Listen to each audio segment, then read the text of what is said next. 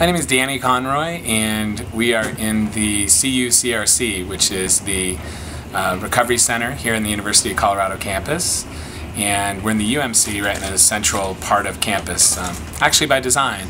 Um, what you see here is a, a lounge, basically, um, and it's a place for recovering students and uh, students who are choosing to uh, live without drugs and alcohol, um, have a place to hang out and a place to meet like-minded people. And we have a variety of different activities going on on a regular basis, everything from game night to tea to bowling nights. Um, but most of all, it's really a place to hang out. Um, we have some 12-step meetings here that students have organized on their own. Um, the thing that I think makes the place really special is that all students who come here come here because they want to.